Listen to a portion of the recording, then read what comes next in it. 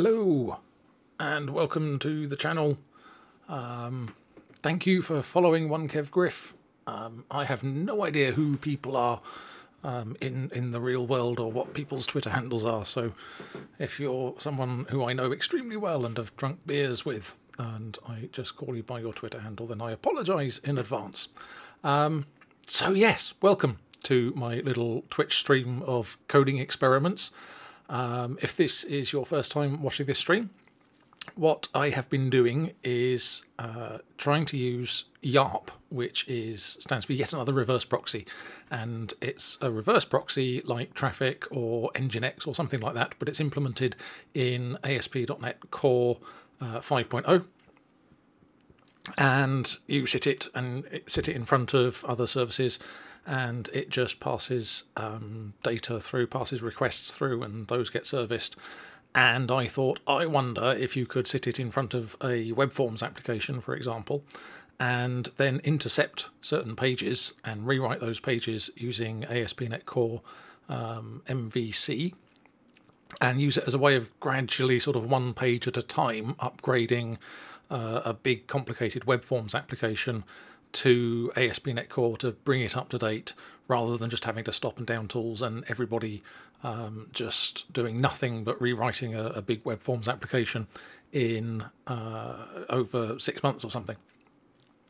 And so far, it's it's going quite well. Um, the general principle worked. You can definitely intercept pages. Um, so we have our um, our facade application here that we've created, and this has got uh, just a standard controller, um, and uh, we used the template here to pick up the, the default route, and that returns a view from the facade application, which has been implemented using Razor and everything else.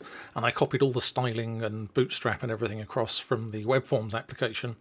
And so when it sees a page that it knows, it intercepts it and it renders it using ASP.NET Core.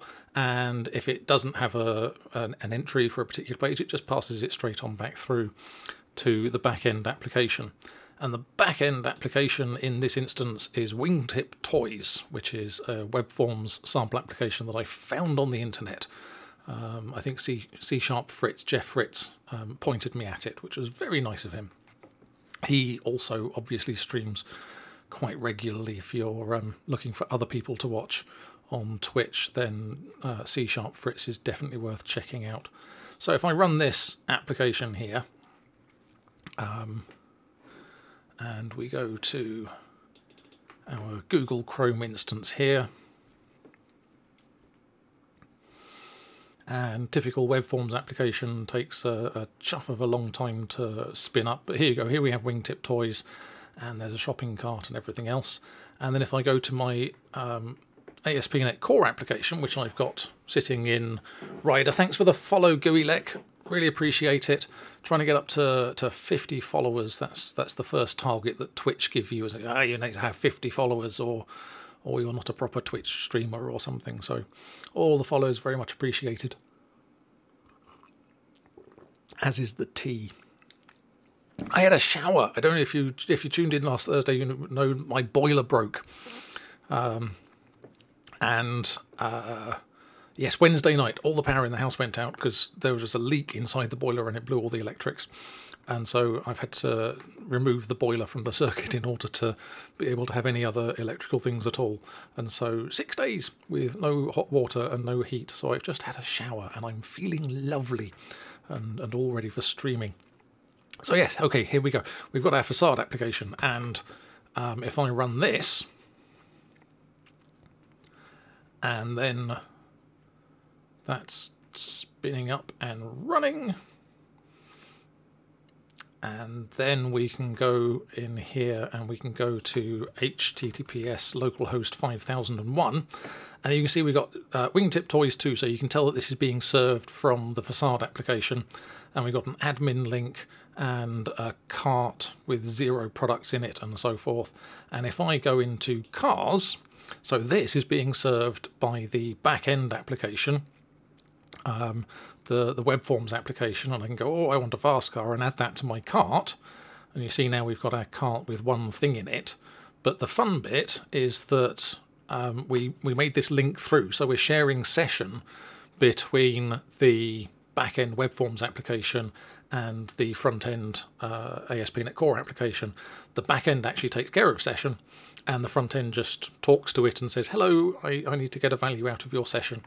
And we've implemented that directly in the code at the moment. Um, the eventual plan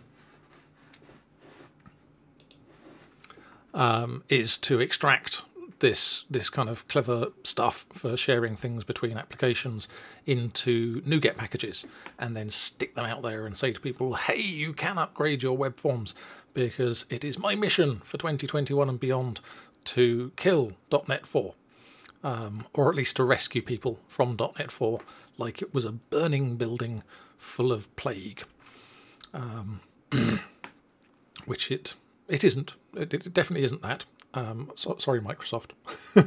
I didn't call your product that. Um, but yeah, so you'll see on here we have uh, an admin page. And when you go to the admin page, it takes you to this account login, and there's a return URL and everything. Um, and if I want to go to the admin page, I have to um, go admin, and then the password here. Um, I had to dig around in the um, code for the Wingtip Toys application. But yes, um, the username is admin and the password is PA double dollar word. So if I go back to here and I put PA dollar dollar word and log in, and then you can see here that I'm now into my administration page where I can add products and remove products and do all that good stuff. And over here it's saying hello admin and log off. But if I go back to the home page, um, ah, it's it's redirected me across there. So if I go back to localhost 5001, it's not saying I'm logged in and it doesn't know that I'm logged in. I can navigate to the admin page but um, I can't do anything else. And so what I want to look at today is how can I um, use the back-end application to authenticate the front-end application and you share the same sort of information between those two things as well, which is going to be fun. And actually, um, I saw a blog post today by um, Damien Bowden, um, and he is doing something similar in this blog post, um, but using YARP as an authenticating proxy in front of an older API. Um, so it's it can be difficult to uh, add um, modern authentication like um, Azure Active Directory or um, OAuth authentication or Open OIDC authentication. And so he's written this blog post here, and I will um, post a link to this into the chat. Um, if I can find my chat window, there we go. Um, there we are. Um, but yes, uh, so this blog post is looking at um, sticking YARP in front of an API, doesn't mention what the backend API is written in, and then using Microsoft Identity.web to add um, Microsoft Identity Web API authentication, which is really nicely implemented in ASP.NET Core. So do the authentication in this YARP um, proxy and then pass calls back through and um, pass the tokens through on the proxied calls and uh, and everything else. So yes, that's another interesting use for YARP, and I think actually um, as as people get to grips with it and, and once it gets out of preview, because it's still a preview package at the moment, I think we might see a lot more of these things. And I think this is going to be um, a really interesting way for people to um, start migrating their code over to ASP.NET Core. So um, I'm going to jump in. I, I, have a vague notion, um, and uh, again, if this is your first time watching the stream, this isn't prepared. I haven't got any slides. This isn't a, a, a conference talk. This is me. Um, hey, Steve Talks Code. Thanks for the follow. Um, yeah, this isn't a, a, user group talk or, or anything which, as, as, everybody knows, I prepare very, very um, rigorously for. This is me kind of faffing around and going, I wonder how things happen, and you're learning stuff while I'm learning stuff, and theoretically, it's it's lots of fun. Um, so what I'm going to do is I'm going to set a breakpoint in here. So this is what's going to get called when we go to the admin page. Um, and if we go back to here and click on admin, and I hit my breakpoint, and then um, I'm really did the page object did it have you let's go to locals this um, I think there's a user object in in an ASP.NET web form there is um, and it is a claims principal and so and that's got various claims in it and so forth so what I'm going to want to do is what we did with the um, session code is we um, got the value out of session and we serialized it using message pack. Um, theoretically, message pack will let us serialize complicated objects. Um, there are limits. It doesn't like having objects with circular references and so forth. But um, that we serialized the thing across, and actually, it's just a string at the moment that's going. Um, but yeah, we need to serialize that claims principal. And I do know this from my um, long experience with uh, .NET and .NET Core. Claims principals do not like being serialized. But we're going to do it anyway. Um, so let's drop into here and we'll just we'll stop this application running. And we have got our, uh, we created an ASP.NET um, HTTP handler, this facade thing here, um, to intercept requests because it's a nice, easy way to, um, you know, we don't need a lot of functionality for for this, um, and uh, we just want to serialize the thing and send it back over the HTTP connection, and um, it's also nice and easy to bundle up as a uh, as a NuGet package so that people can just drop it into their applications um, and use it there. So I think I'm going to create a, another handler um, and I'm going to call it um, public class um, auth API handler and we will implement iHTTP handler on there and implement the missing members and we'll do that. Um, and I think we can make this one reusable as well, which is generally good for performance. This should be thread safe. So with the HTTP handler, um, and uh, that's that's fine there. Um, with the HTTP handler, uh, you get the HTTP context gets passed in to the method, and so everything we need is on there. So we can reuse this class over and over again, which saves a bit of um, pressure on garbage collection and everything else. And so in here we can say context.user um, and context.user is uh, I principal. So why is that an I principal?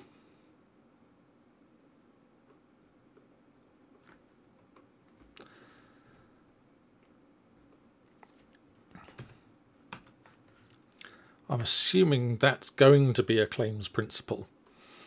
Um, so I should be able to say if context.user is claims principal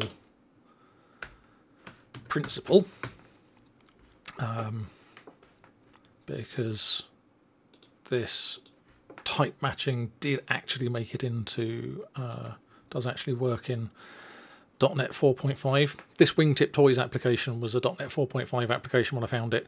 I briefly tried to upgrade it to a .NET 4.7.2 application, but it broke stuff, and so I reverted it back again. Um, So that's what we're using.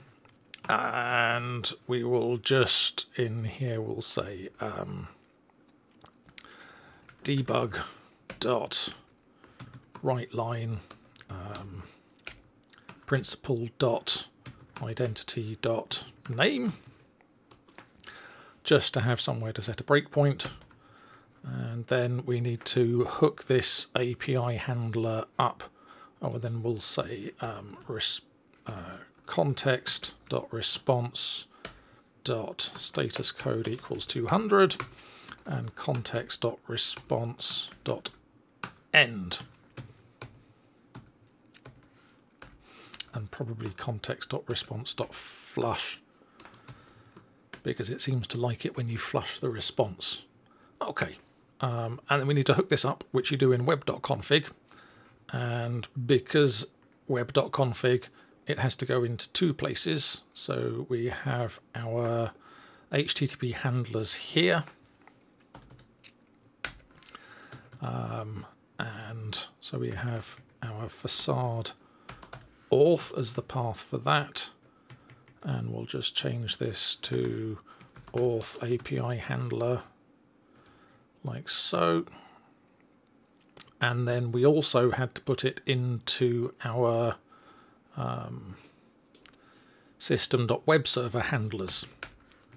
So this will be in here and we'll call this facade auth and change the path again to auth. And this is going to be changed to auth API handler. And now that should in theory be working. And so I can just hit that from here.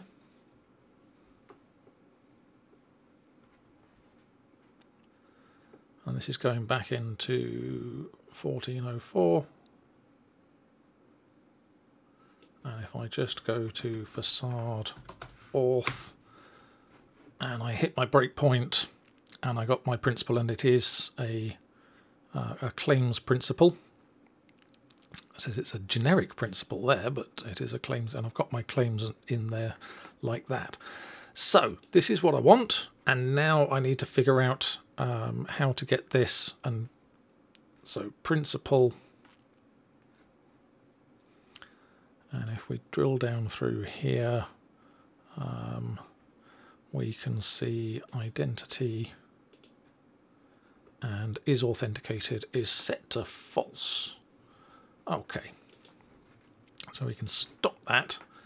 And then in here we can say um, if principal.identity uh, could possibly be null is authenticated equals false.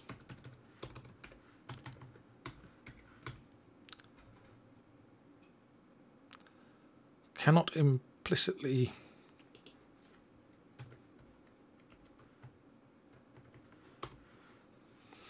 So, yes, we want the... No, it is definitely on there I want it.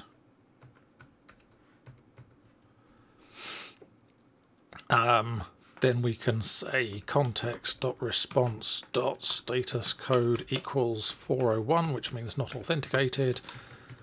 And then we can copy these two lines up here, move those across like that.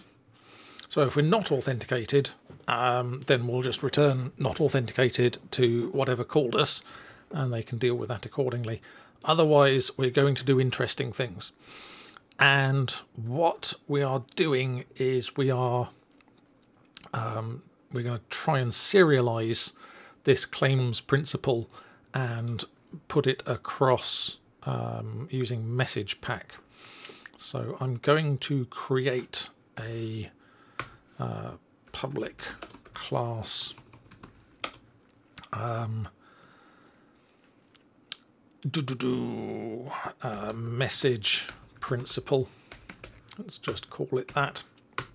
This is going to be our message pack um, class that we're going to use to send things across.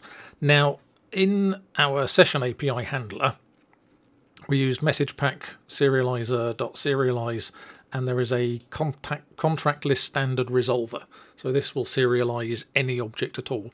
and at the other side you just try and recreate it as the right kind of object and it um, it should pass across okay. I'm going to come back and optimize this at some point in the future and go, you know, if it's just an int, then let's just do the convert to bytes using bit converter for the simple built-in things.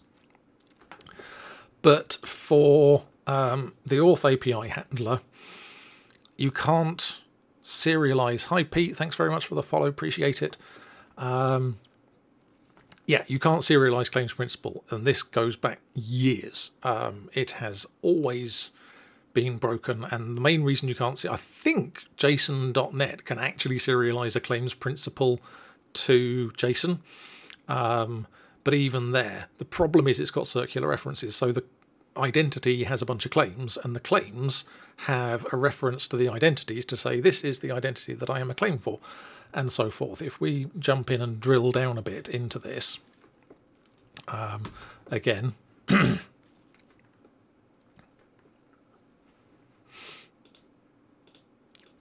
and we go back to facade auth,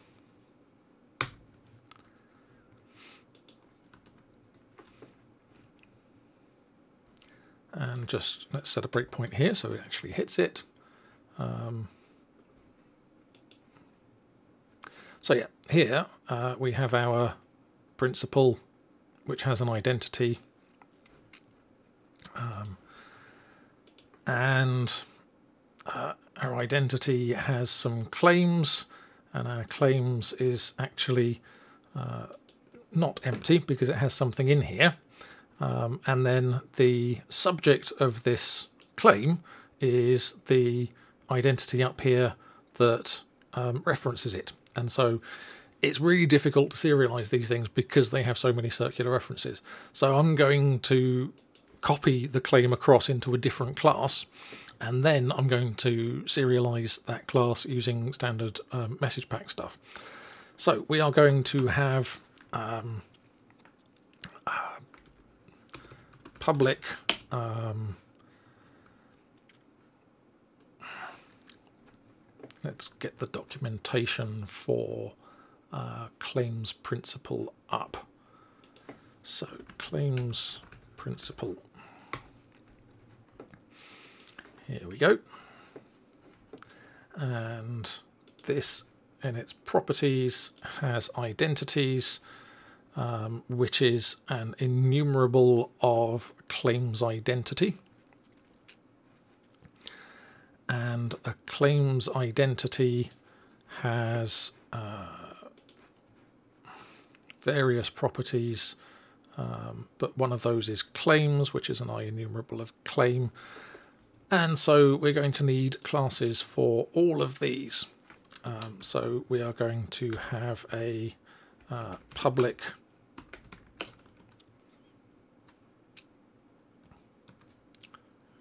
uh, message identity. And we will have a public class message claim like so. And then we're going to want to be able to create um, all of these in our message principal um, and so I uh, have no idea what I'm doing um, which is exactly as it should be. So I'm going to have a public list of message identity identities. And I'm going to have, uh, if I want to create this from a claims principal, let's just we'll do a static method. Um, public static message principal from uh, claims principal. That's our source there. And so we can say um, source dot, we've got identity, we've got claims, and we've got identities like that. Um, so that's just the main identity. That's all the identities that we've got. So if we say for each in source dot identities. Call that source identity. ReSharper's much better at naming than I am. I do like uh, ReSharper. And I like Rider as well. I'm basically using um, Visual Studio to work with the old source code and Rider to work with the new source code, um, just so I don't get lost and forget which piece of, of source code I'm in, which I find is really helpful uh, when I'm working on these um, upgrade projects. Uh, keeps the two things clear. So in my source identity, um, I can say var message identity equals new uh, message identity like that. And then my source identity dot. So we got an is authenticated and we got an actor. Lord knows what that is. We got an authentication type. Um, and we've got a bootstrap context and claims label, string, name. So I want to create a new one. So var x equals new claims identity. And we've got uh, authentication type and name type and role type and a bunch of claims, so enumerable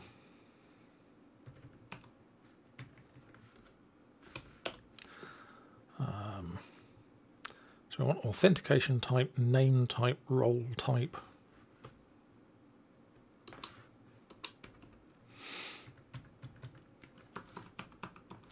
So we say authentication type equals source identity dot authentication type and name type equals source identity dot uh, name claim type is that? Anyone has any idea what I'm doing, then do feel free to drop a message in the chat and help me out. It is a, a semi-interactive process. Um, but yeah, we, we are figuring this out as we go, and it is lots and lots of fun. What on earth is a bootstrap context? Um, why would you have a bootstrap context? I don't know. Um, we can certainly set is authenticated equals source identity dot is authenticated and then we can say x equals source identity dot. And we'll put in label. Let's put label in there. And then we can put y equals source identity dot name claim type. And z equals source identity dot role claim type. Yeah, that's looking pretty good. And then we can just change that to label and that to name claim type and that to role claim type like so. And then we can just use ReSharper to add these properties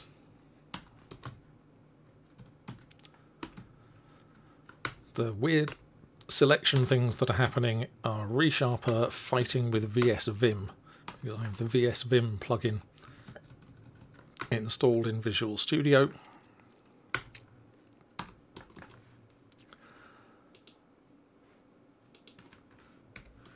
Okay, so that is, this is a message pack serializable object.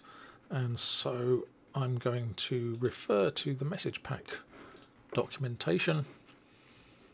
Um, up here. So this is the message pack library that I'm using. Um, and quick start. So we have message pack object and then we put the keys on like that. So let's, we'll put message pack object and then uh, let's leave them in alphabetical order. It's as good as anything. So then we can say key 0 and key 1. Let's grab those.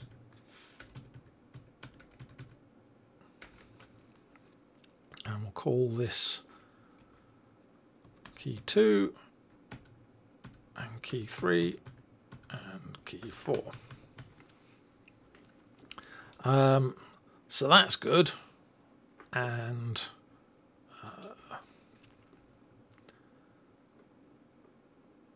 then we want to dump the claims in there as well. And so we can say for each uh, in source identity dot claims. I'll just call that source claim. And then we're going to say var uh, message claim equals new message claim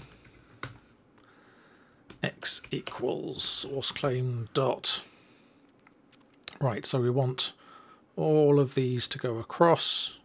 Um, so we want issuer and we'll call that issuer and then x equals source claim dot original issuer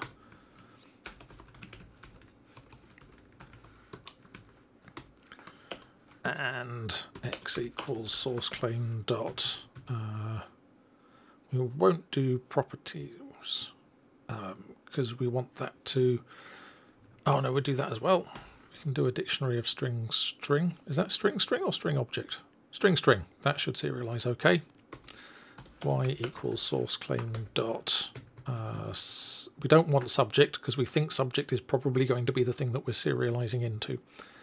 Um, so we want type. Um, let's just set these properties and type like that. Um, and then x is source claim dot uh, value and y is source claim dot value type like so.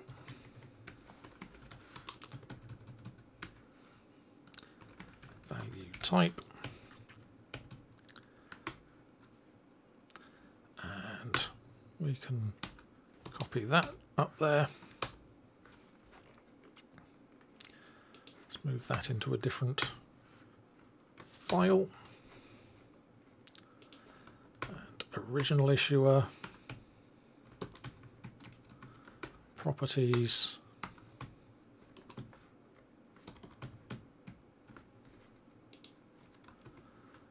type, value, and value type.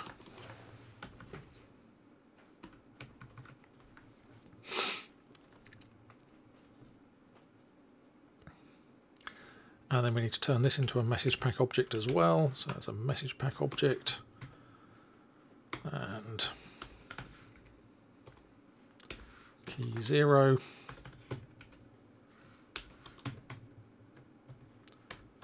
Grab two lines.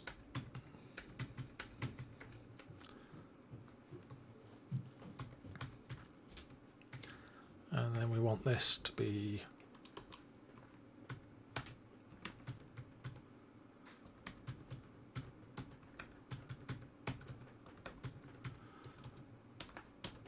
keys like that.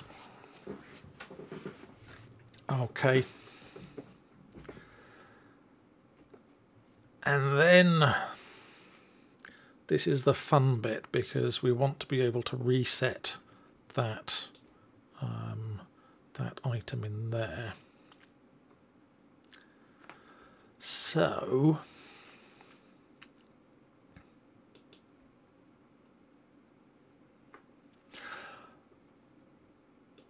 I think if we have a list of identities and then we can reference the identity in its list so we can pass it across as like an array and then if we store the number that it is in the array then we can reconstruct it we can rehydrate it on the other side um, probably. I don't know. Let's leave it simple for the time being. Um, and so our message identity here um, we will have a uh, key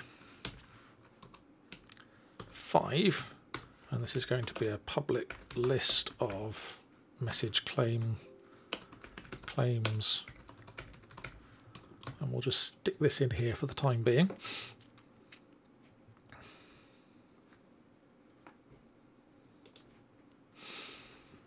We'll say claims equals new list message claim like so. And then in here we will say message identity dot identity dot claims dot add message claim like so.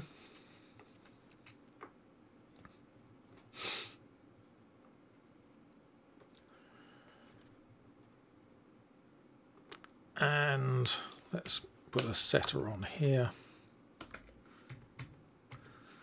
And we'll say var um, message principal is a new message principal. Um,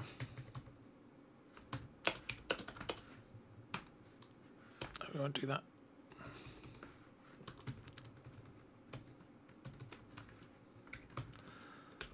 Identities is a new list of message identity.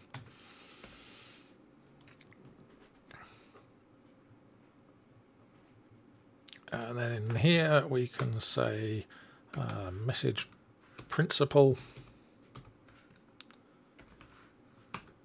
dot identities dot add message identity.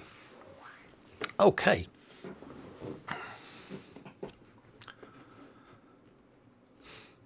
And then we can just return that back out again.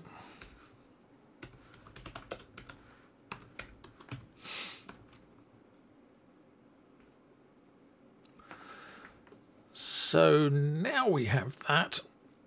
Um, oh, we want to do a, a return here as well, don't we? Um,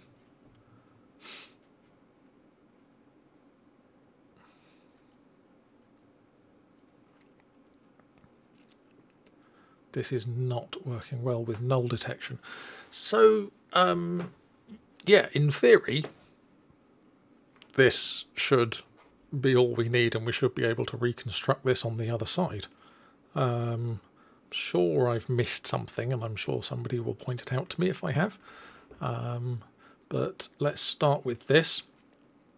Um, so we say if it's a claims principal, then we are going to say um, var message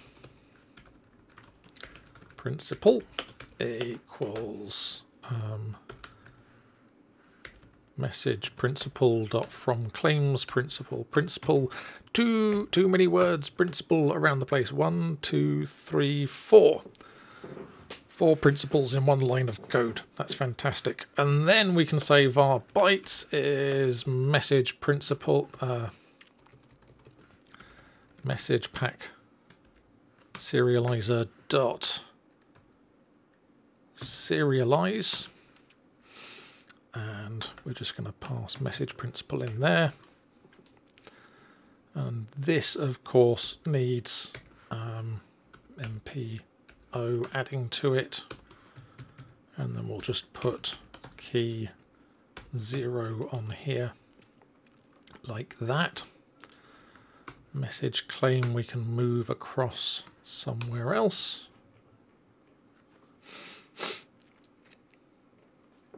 So we've got our bytes there.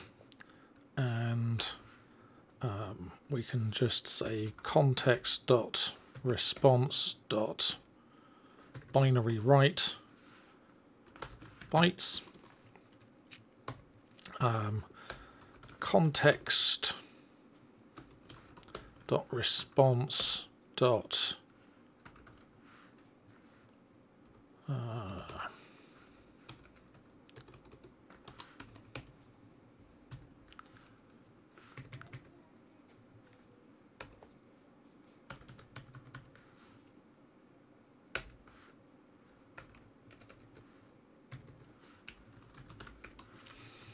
And then if it's not a claims principal down here, we'll just do this as a 401 again. Quick and dirty, just get it working. Okay.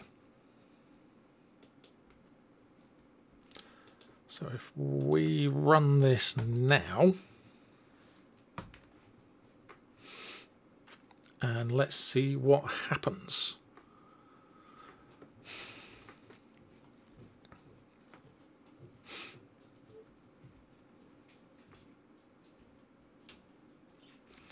So I'm going to log in, go here, admin, PA dollar dollar WRD, log in, and then go to facade auth. And yeah, that looks something like what I would be expecting to come out of there. Or something, I don't know. Does it? Um, let's just jump back to here and we'll set a breakpoint here and refresh. There's our breakpoint. So our message principal um, has got uh, one identity and our identity has got uh, authentication type application cookie. It's got four claims in there. It's got a name claim type. Um, and the claims, we've got a message claim. So these don't appear to have been serialized. Why have these not been serialized? Let's um, take a look in here. Uh, so we've got message identity claims add. It's in there.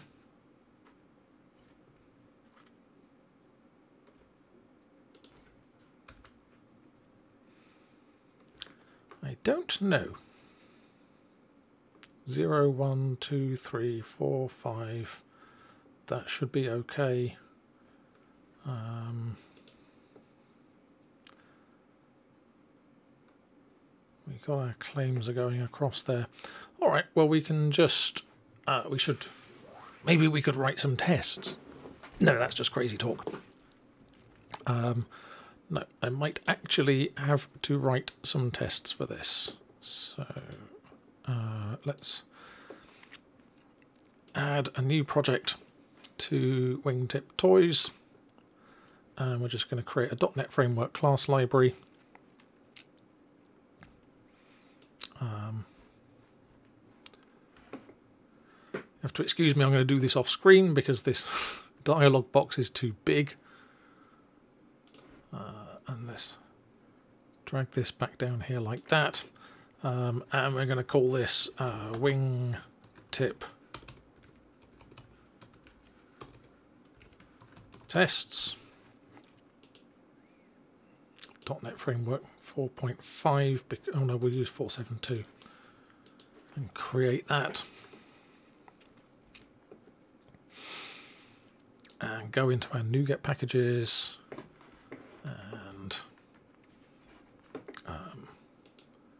install XUnit. There we go.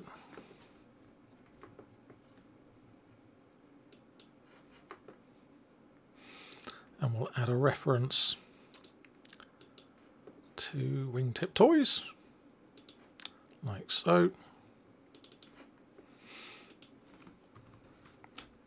And we'll call this message principal tests like that. Okay, so let's just create a fact and public void, yeah, um, serializes and deserializes. So say var source equals new message uh, principal. New. Identities equals new. List of identities. Um, var identity equals new. Message. Source identity new message identity. Claims equals new list of claims. And also var source claim equals new message claim. Uh, type equals foo and value equals bar um, source identity dot claims dot add source claim. Source dot identities dot add source identity. And we can var bytes. Is uh, message pack serializer. Hmm. NuGet packages are not transitive in .NET Core, are they? Uh, so message pack, and we want so the versions of message pack higher than two don't work with um, .NET 4.5, so we use 1.9.11 for this. Um, which brings in all those bits of code there. Uh, and then we can go back to here and we can say serializer dot serialize um, source. And then we can say var actual equals message pack. Serializer dot deserialize message principal bytes. And then we can say assert dot equal one and actual dot identities zero dot claims dot count. And I'm getting a warning here from thing do not use assert dot equal to check for collection size.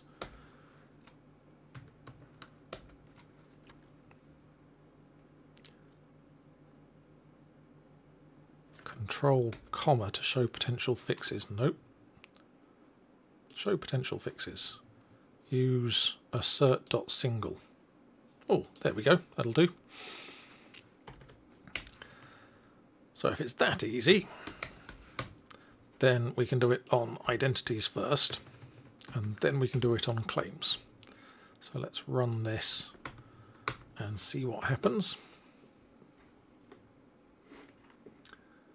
Um, just going to dock this down here.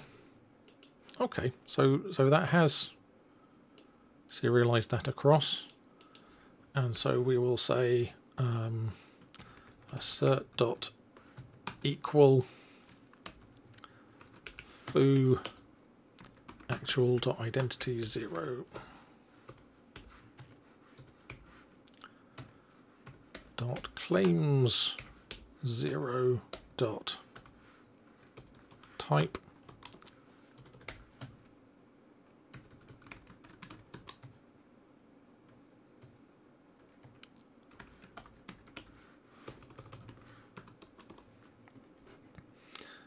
just run that again. Nope, that does appear to be working, so obviously it's just some artifact of the way that the browser shows me what was in the message pack thing. Maybe it's got a, a zero byte in there or something that's um, stopping it from working properly. Uh, okay, so this is good. We now have a serializable version of claims principal that we can pass across to our um, facade application. So the next thing to do is to get this into our facade application and um, I think we need to write our own authentication provider for it. Um, and so that's what I'm going to do.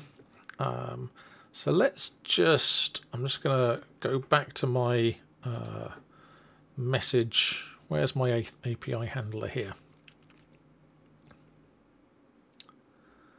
Uh, so that's my message principal. That can go into its own file and be nice and neat and tidy. And then we can go back to here and if we set a breakpoint here, that's fine like that.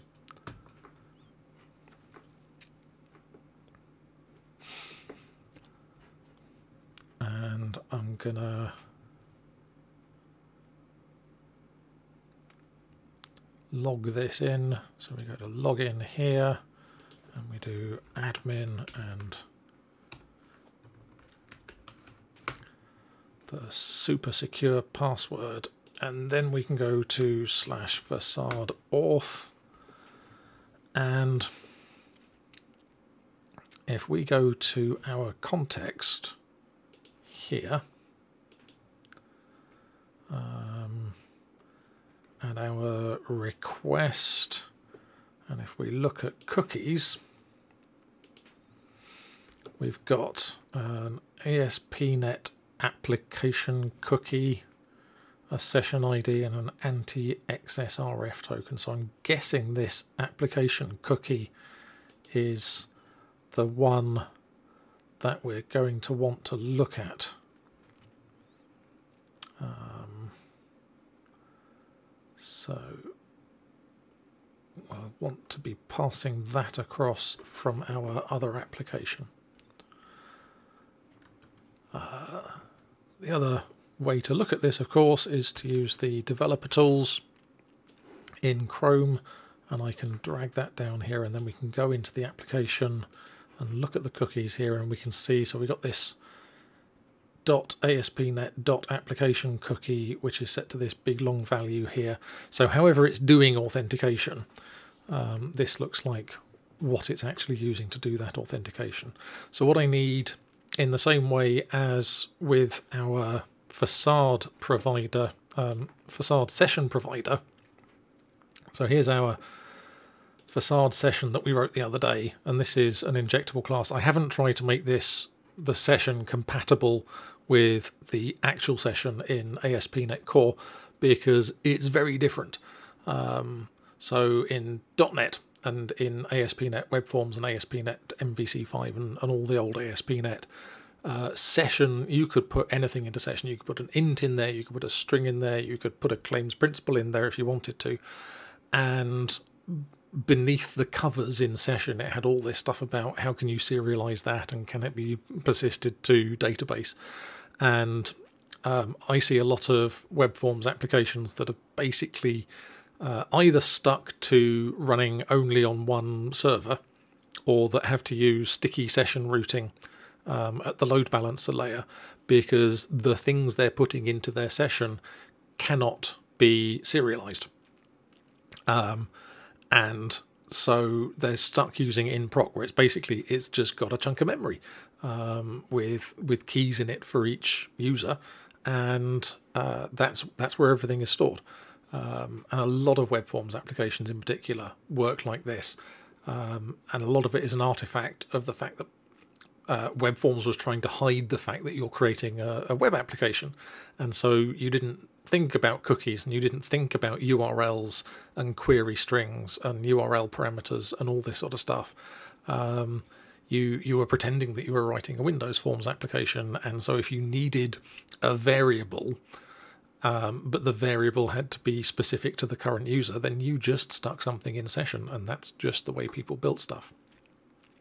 So anyway, uh, we have our session provider here, and this gets injected, and and the thing ASP.NET Core session, um, by contrast, only allows you to serialize bytes. So you go, here are some bytes to put into session, and I give me the bytes back from session. So you take care of how you're serializing the values. And obviously you can put extension methods over it to, to take care of that and serialize things using bit converter and UTF-8 encoding for strings and you know message pack or whatever if you want to put complex object graphs in there. Um, but for uh, for the authentication side of things, I think I actually want to hook in to authentication and, and create my own authentication handler that essentially just proxies through to the back end. Um, so yeah, you, oh sorry, you see here we had our cookies uh, try get value asp.net underscore session ID. So that's the, the default session variable name. Um, and then it passed that through to the API and said, hey, here's the, the session ID. And in the API, that just means that the session on the HTTP context is automatically the right one. So I think we want to be doing the same sort of thing here, but we're going to be passing this .aspnet.application cookie across instead. So how do you create an authentication provider? Um, so ASP.NET Core authentication and so we have an iAuthentication service.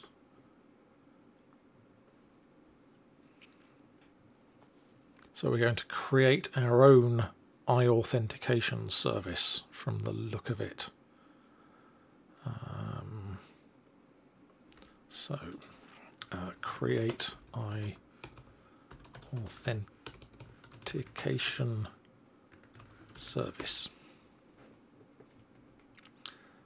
Creating an a authentication scheme in here we go Andrew Best.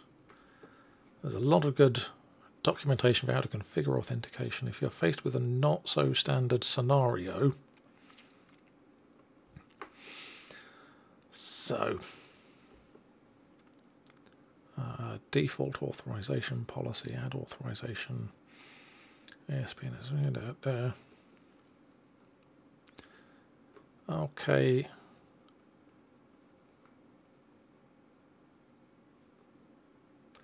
I'll register. Okay, so here we go. We have a custom iAuthentication service that only does one thing when asked for a. So you are implementing iAuthentication service. And then we do it as an add singleton like that.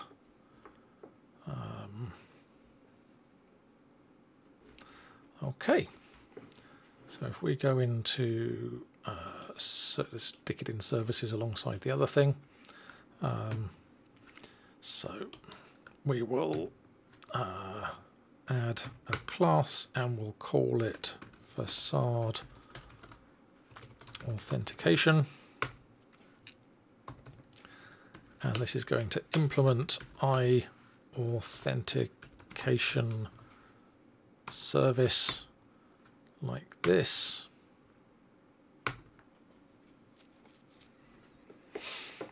And then we have, um, let's just turn nullability on in here. So we have authenticate async, challenge async, forbid async, sign in async, sign out async. Good Lord, what are we going to do here? Oh, let's stop this running for a start to get rid of those enormous bugs over there. Okay, um, so authenticate async. This looks like where we are going to talk to the other side of things. And one thing we can do for a start is we can go over to Wingtip Toys and we can um, pull out our various objects that we're using to serialize things across. So if I grab that and move this into here. So the ASP.NET Core code is actually using the very latest version of um, Message Pack, which does obviously work with, with .NET 5.0. Um, so we can bring message identity across as well, um, like so. and that can go into its own class and then we can find message principal like this and uh, we can paste that into here like this as well and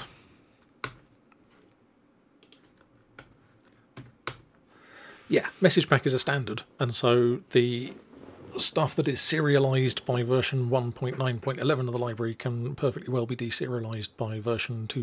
whatever it is of the library. Um, it's the internal implementation that's changed, and so the new version's probably using spans and buffer writers and buffer readers and all that sort of good stuff um, to to get every ounce of performance out of things. If you're at all interested in writing, um, you know, uh, high performance code um, or or any of that sort of thing, I I highly recommend taking a browse through um, the various repositories on here. This is uh, yeah, there's a message pack, there's a UTF-8 JSON serializer, which is zero allocation. There's zero formatter, which is an infinitely fast deserializer for .NET and .NET Core and Unity. Um, but yeah, there's lots of you know this this guy is um, or person is um, very serious about performance and very serious about about making these things work um, fast and not allocate and everything else, and also extremely active. You can pick up lots of useful stuff from the code in there. Is what I am saying. Okay, so we have our message principal here. So in our um, code here, we're going to say var HTTP client. Let's copy some of this across from facade session.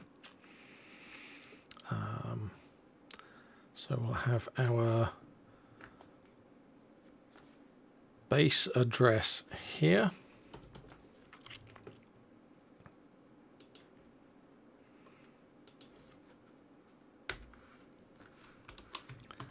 And that's going to be facade auth. And then um, we're going to have our HTTP client here. And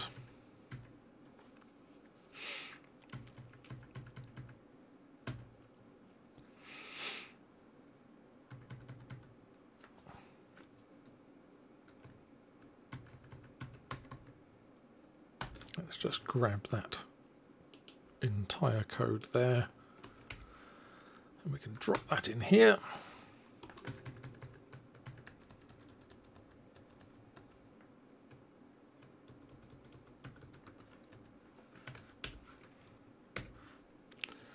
So that's our request. And then we want to pass across, um, what on earth was it? It was uh,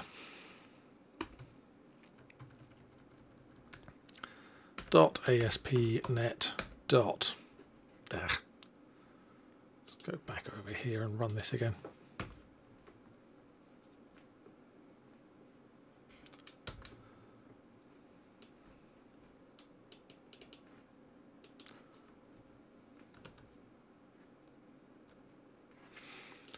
Log in, admin, dollar dollar WRD.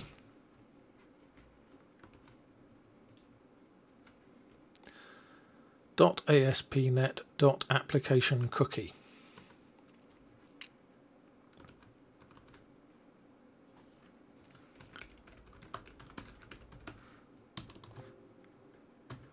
Let's rename that to app cookie and change this. So we're going to just pass this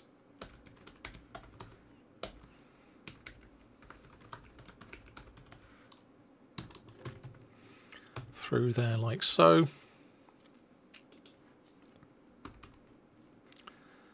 I'm going to make this async so we can await things. And then we've got to return an authenticate result here. So we can say if response dot uh, status code equals equals um, unauthorized. This is where HTTP really winds me up because I think unauthorized is 401. Yeah, it is. And it doesn't mean unauthorized, it actually means unauthenticated. 403 means you're not allowed to do this thing or forbidden. So um, technically, 403 should be unauthorized and 401 should be unauthenticated. But hey ho. Um, then we can return a new return authentication result dot fail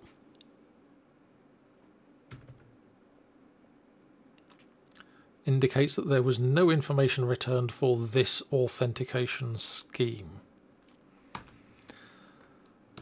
So, yeah. Um, let's use that for the time being. Um, so if we want to return authenticate result.success, uh, new authentication ticket. Right, so we pass an authentication ticket which into which we put our claims principal and our authentication scheme. Um, so uh, I know if we go to cookie authentication handler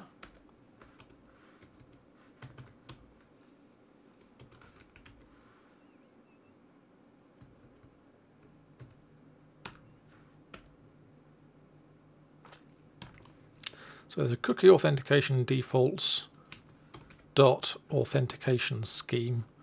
So I'm going to create a public class facade authentication defaults,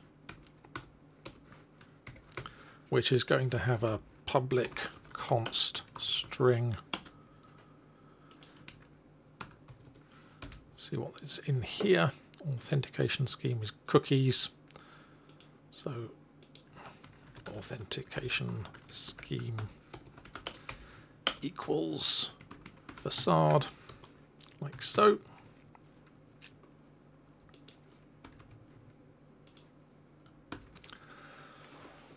Oh dear, this is fantastic chaos coding. I am just leaping around in the dark and really hoping this will work. Okay, um, so we got a response there. If this comes back okay, then we're going to say um, message principal equals message pack serializer dot deserialize async um,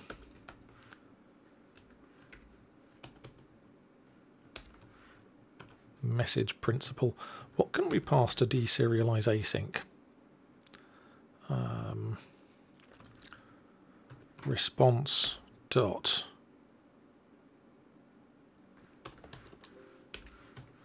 Going to say var stream equals await. Response dot content dot. Reader stream async and then we can use that and pass that through to message pack serializer, deserialize async from that stream. And then we need to turn this message principal back into a claims principal. So let's go over to here and we will say, um, we probably don't need that on this side, but we'll keep it there for the time being. And we'll say public um, claims principal to claims principal.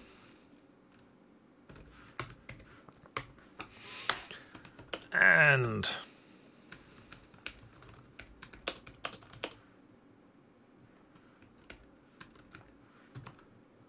new claims principal.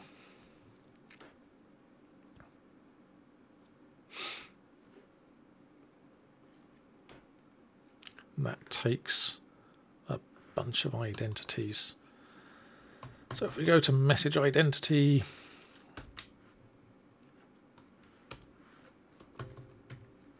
and we say um, for each var message identity and identities. Um, claims identity. Let's hope you can actually create these things and Microsoft haven't kept everything protected and internal in the very Microsofty sort of way that they sometimes have. So claims identity is a new claims identity and in here we can pass in um, so we've got uh, message identity dot authentication type and message identity dot uh, name type and message identity dot role claim type. And then I guess we want the enumerable of claims in there as well. So we can say uh, var message claims equals message identity dot claims dot select c2 new claim. And this is going to be c dot type. C dot value. C dot value type. C dot issuer. C dot original issuer and our identity here we can then pass in our claims here.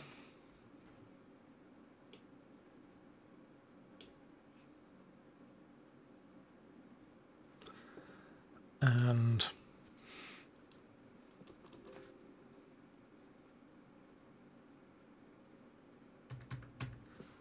so private enumerable claims identity.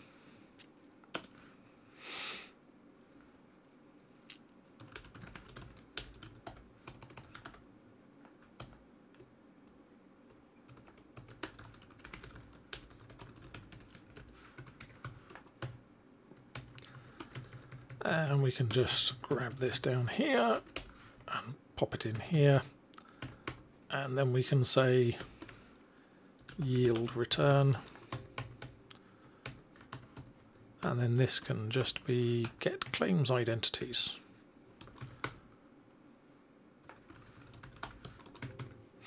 So then that works like that.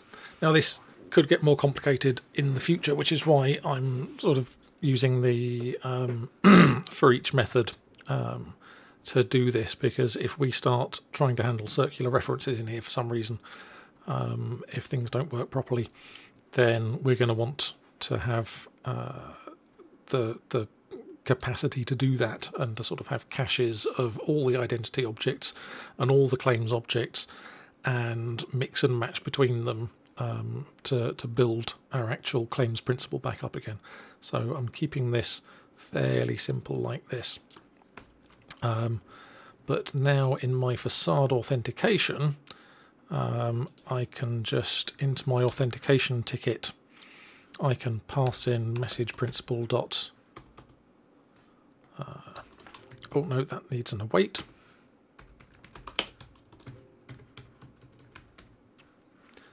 To claims principal, and this is going to be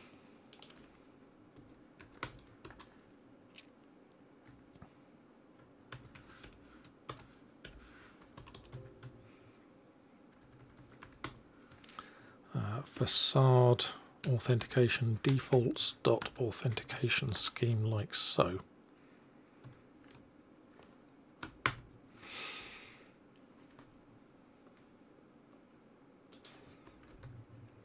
And then I can get rid of the rest of this code here. Now, challenge async. Um, forbid async Sign in async and sign out async.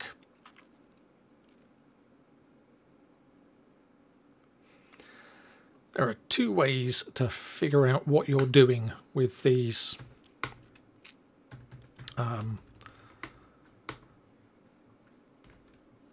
types of uh, services and when you're um, implementing things.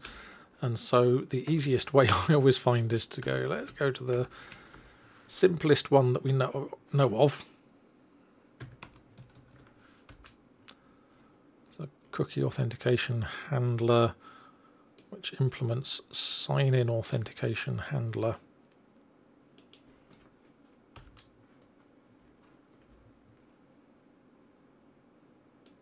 which for some reason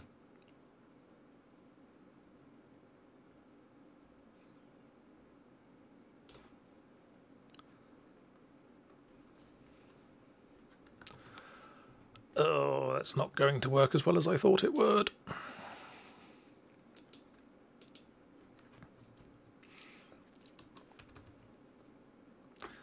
Right, so um, go over to here. So we could authenticate async, challenge the specified authentication scheme. An authentication challenge can be issued when an unauthenticated user requests an endpoint that requires authentication. Fine, so but what is it supposed to do? Um, see if we can find implementations of this. So we have the built-in authentication service. and authenticate async.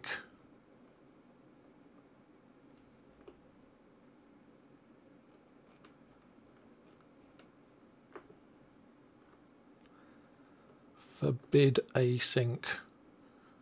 So get the thing there and do that. Forbid the specified authentication scheme sign a principal in for the specified authentication scheme.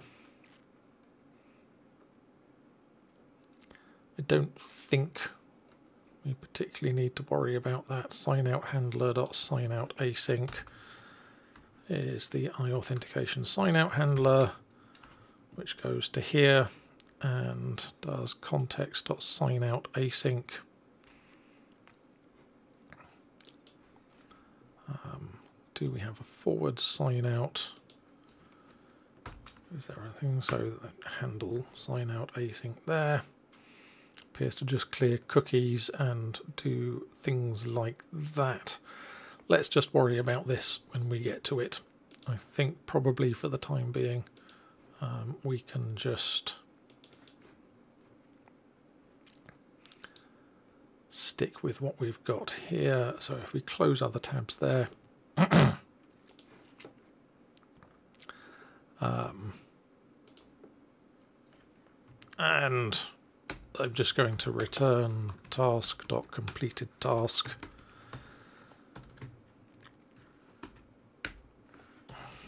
From these for the time being.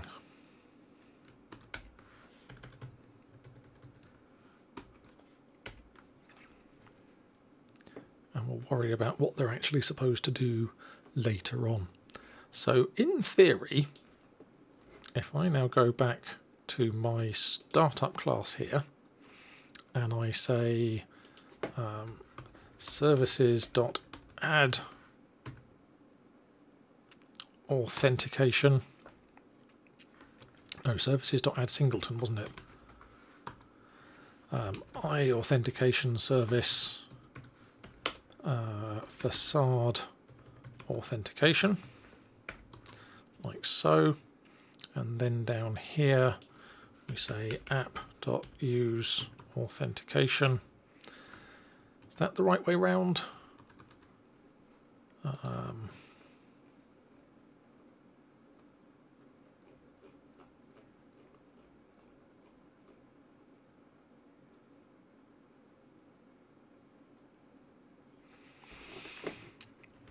I cannot remember. Bonus points to anyone who can remind me whether it's use authentication, use authorization, or the other way round. Um, wake up and code. Thank you, Shahed C, for this. Um, so we've got use authentication, use authorization. And what I do remember is that they have to go between routing and startup. So we have our code here. Um, and if we go into facade authentication and we can set um, a breakpoint here. Wingtip Toys is running, so let's just go. What's Wingtip Toys? Have we got any breakpoints in our auth API handler? So let's just debug, delete all breakpoints. Yes, you carry on running, and I will run my front end here.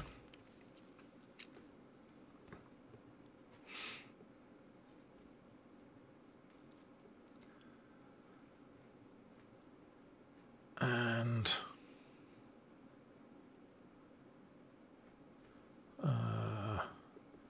I have got a data is null. This method or property cannot be called on null values. Okay, that's fine. Why has that happened all of a sudden? for each category in db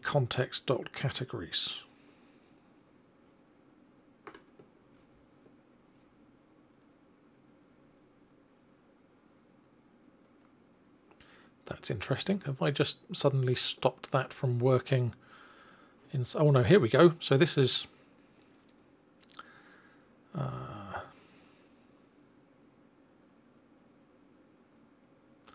Something bad has happened here.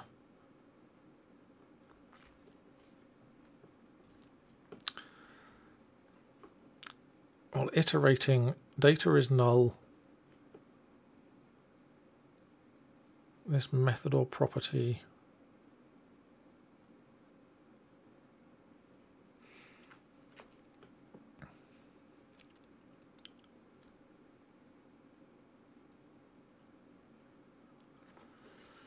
So I've broken something else. Um, let's go back to my startup class here. And let's take use authentication out. Save and run.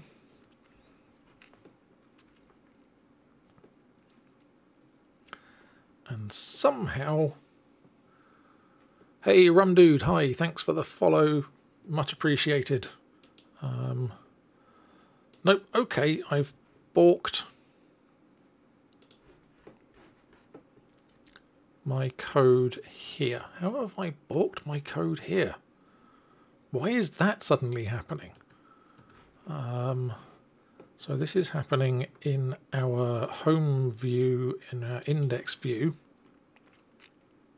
um, except it's not, it's happening in our layout and it's happening where we've got our document category things here. Um, so let's go back to here and we'll refresh this. And now we have a debug.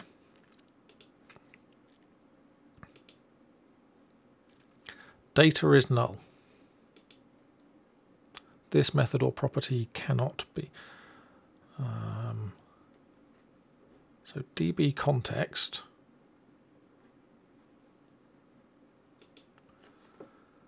and we've got categories, cart items, results. Nope, so that works. Categories, results is coming back with a SQL null value exception. And I don't know why. And it was working perfectly well like five seconds ago. Um, all right, you stop. And you stop. And then we'll go back to Wingtip Toys and we'll start you up again.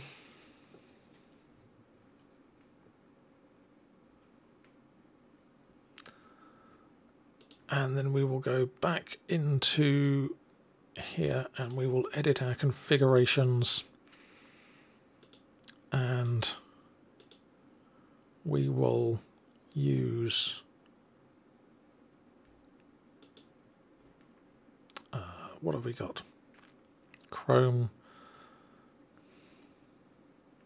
default browser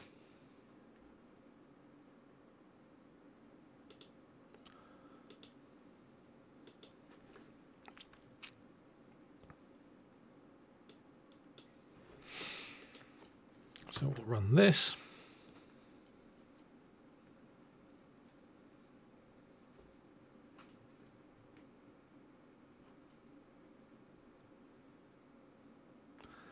Document dot categories results. No, okay. Does anybody have any idea at all why I am suddenly getting a SQL null value exception? Let's go over to here, SQL null value exception.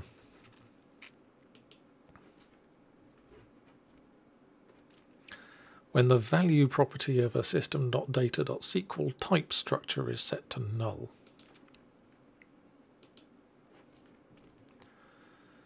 Uh, they haven't changed something to the working code nor to the database. Uh, yep, this sounds like me. Haven't changed anything and it suddenly stopped working. Your EF model likely doesn't match what's in the database.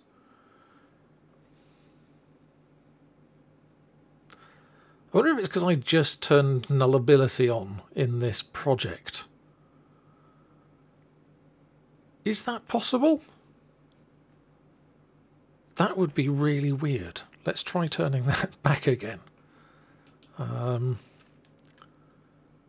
so we can edit. You go away.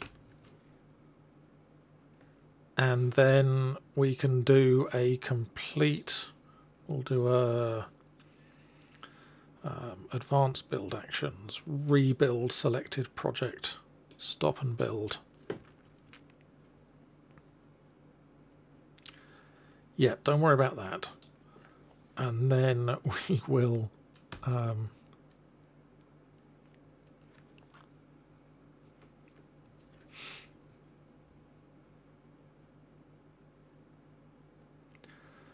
document dot categories result oh my goodness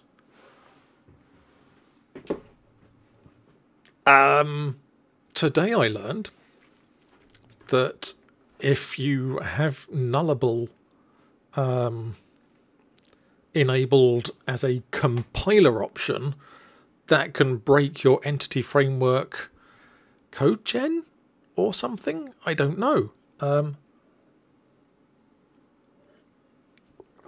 so let's just stop this.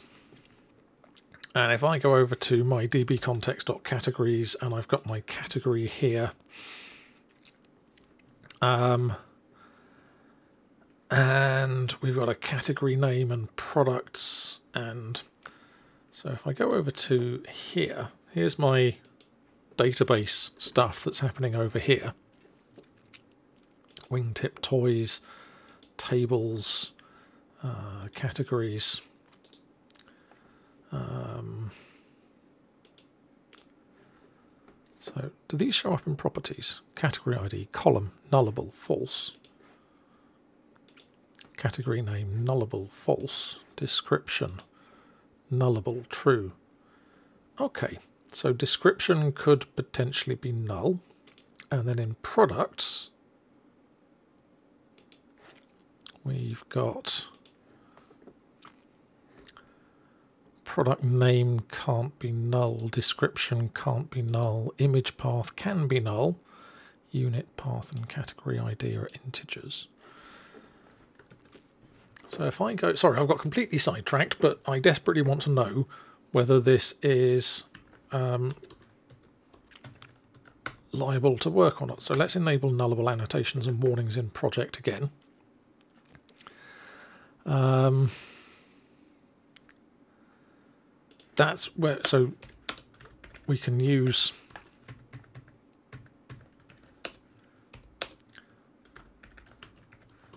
this.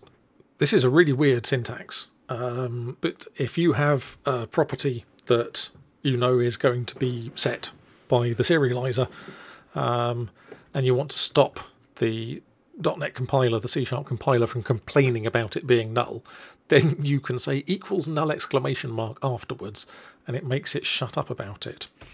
So product, and here we can say equals null, and we can do the same thing for description, and we can do the same thing for category, and then down here we can say string image path might be null. Okay, let's see if this works now.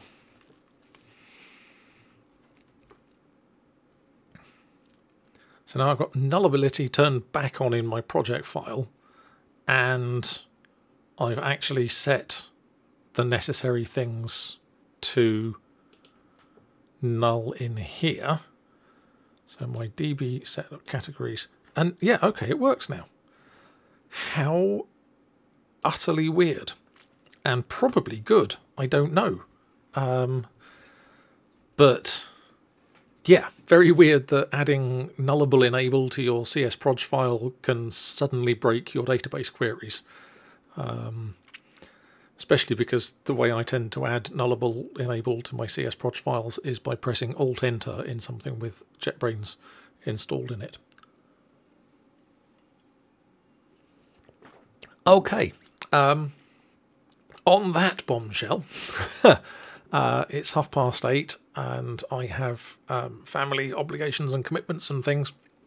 So uh, I'm going to draw a line under this for today, and I will be back on Thursday evening at 7 pm UK time, uh, which is currently also UTC. Um, so, yeah, drop back in and we will be continuing to build out this authentication service and uh, trying to get the front end to authenticate and then probably move that admin page and re-implement that admin page as a modern kind of we'll do something interesting with it um, and make sure that you can only get to it if you are logged in as admin so that should be fun uh, thanks for dropping in. Thanks for all the people who followed.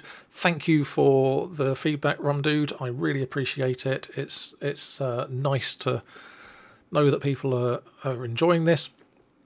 Um, yeah, you can follow me on Twitter if you stuff you want to see on the stream or uh, things you want to ask or anything. Then you can either ask in the chat here or you can reach out to me on Twitter, and I will happily talk about stuff. Um, let me know and uh, I will hopefully see you again on Thursday. Cheers, everybody. Take care.